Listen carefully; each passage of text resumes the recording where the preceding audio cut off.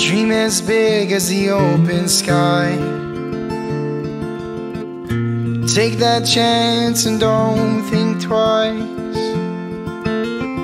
Spend some time with the ones.